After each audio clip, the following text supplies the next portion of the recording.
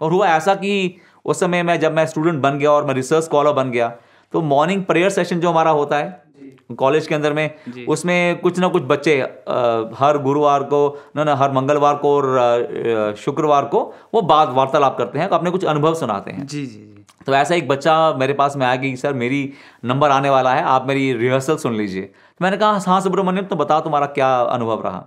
तो कहता है सर मैं कुछ समय पहले भगवान बाबा के सानिध्य में गया मेरा बर्थडे था। तो मैंने भगवान बाबा ने मेरी ट्रे को ब्लेस किया उसमें कुछ लवंग थे कुछ कैशूज थे कुछ पेन था कुछ और चीज़ें थी। भगवान बाबा ने ब्लेस किया उनको और मैंने बाबा का पाद नमस्कार लिया। तो फिर मैंने भगवान बाबा के पास जाकर उनके कान में कहा बाबा मैं एक ब्राह्मण हूँ ब्राह्मण कुल से हूँ जी। और मेरे पिताजी ने मुझे कहा है कि मैं आपसे मंत्र दीक्षा के लिए प्रार्थना करूँ। तो भगवान बाबा ने मेरी ओर देखा और बोला मंत्र दीक्षा मैंने तो सबको ही एक मंत्र दिया है। Love all and serve all help ever and hurt never भगवान कहते हैं तुम इसी को अपने जीवन में उतार लो। इससे बड़ा कोई और मंत्र नहीं है। क्या बात यही मेरे जीवन का सार भी है। Love all and serve all help ever and hurt बाबा कहते हैं ये मंत्र है। इसका जप करते रहो। और तुम ये सम, तुम साई में ही बन जाओगे अपने जीवन को। तुम्हारे लिए कोई और मंत्र की ज़रूरत नहीं है। तो उसने कहा बाबा वो तो सही है सबको आपने ये मंत्र दिया है पर मेरे लिए कोई सीक्रेट सा मंत्र दे दीजिए आप। क्योंकि मेरे पिताजी ने बोला कि देखो भगवान बाबा से गुरु कोई और नहीं है और तुम एक ब्राह्मण पुत्र हो तुम्हें तुम्हारे कान में एक सीक्रेट मंत्र भगवान अगर भगवान दे दें तुम्हारा जीवन जो है सार्थक हो जाएगा। भगवान फिर क्या मुझे देखकर कहते हैं वो बच्चा कहता है मुझे कि भगवान कहते हैं ये सीक्रेट क्या है? मैंने मैंने अर्जुन को कुरुक्षेत्र में गीता का ज्ञान दिया।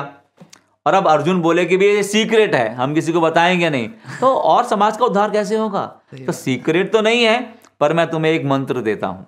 अच्छा। तुम पर तुम्हें उसका अपने जीवन में तुम्हें अनुकरण करना होगा। जी। कहा हाँ बाबा मैं करूँगा।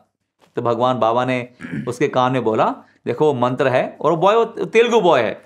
तेलुगु आंध्र से ही आता है। जी। भगवान बाबा ने बोला देखो वो मंत्र है लवु नवु नावु। लवु यानी कि लव प्रेम करो। प्रेम। नवु मतलब कि मुस्कुराओ। अच्छा अच्छा। और नाउ एनओ डब्ल्यू नाव तो होता कि इस क्षण में। हाँ। उसको बाबा ने बोला नावु। ओके। लवु नवु नावु। लाइक अ स्मॉल पोएटिक मंत्र जी। बाबा ने कहा इस क्षण इस क्षण हृदय में पूर्णतः प्रेम और उस प्रेम से उजागर हुई चेहरे पे मुस्कान। हर क्षण को ऐसा बनाओ जी। तो तुम्हारा वो हर क्षण जो होगा एक आध्यात्मिक पल बन जाएगा। और इस प्रकार तुम्हारा हर पल अगर आध्यात्मिक बनेगा तो तुम्हारा जीवन भी आध्यात्मिक बन जाएगा। तुम्हारा जीवन भी आदर्श बन जाएगा।